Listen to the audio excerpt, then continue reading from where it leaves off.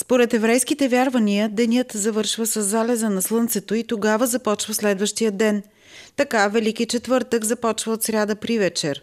Същата вечер се провежда тайната вечеря на Божия син с апостолите, затова тя се чесли към Велики четвъртък. Таинството на таинствата, което е за нас, християните, а именно Светата Евхаристия, пречастяването с тялото и кръвта Христови.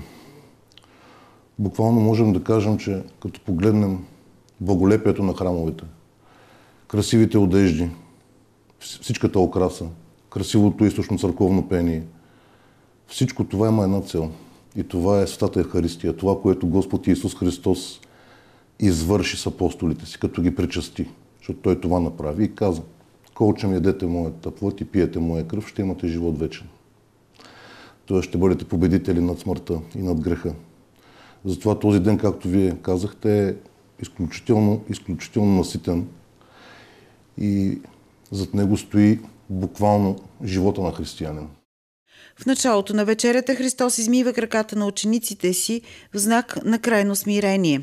Още преди това той е изпратил в Ерусалим апостолите Петър и Йоанн, които приготвят пасхална трапеза с незаквасен хляб и вино.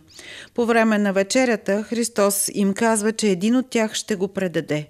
Юда излиза и го предава. Предава го чисто и просто за пари. Това заложено ли е в човешката природа? Какво казва Светото Писание?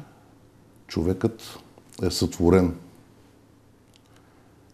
с възможност да бъде, да го кажем в разговорен стил, добър. Тоест, той е сътворен да бъде подобие на Бога. Както е още в първа глава на книга Битие, там се казва сътвори човека по свой образ и подобие. Ако анализираме богословието на нашите светилци, там ще видим, че а, образът е даденост.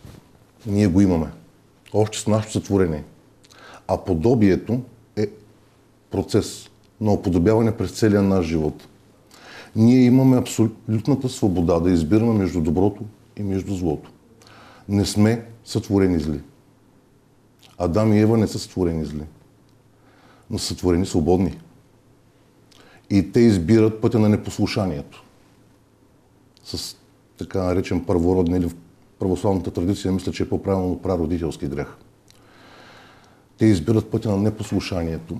И тогава, както каза пък Свети Максим изповедник, човешката природа започва да работи по погрешен начин, в неправилна посока.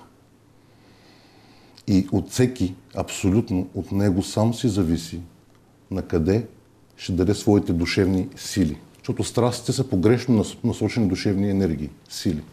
Не към Бога, не към ближния, с добро с любов, а обратното. В православното богословие няма статика. Няма никаква статичност. Или вървим напред към Бога, нагоре се развиваме, или падаме надолу. Ако си въобразим, че стоим статично и сме достигнали някакво положение, това означава, че сами себе си в момента сме се излагали или някой друг ни е излагал.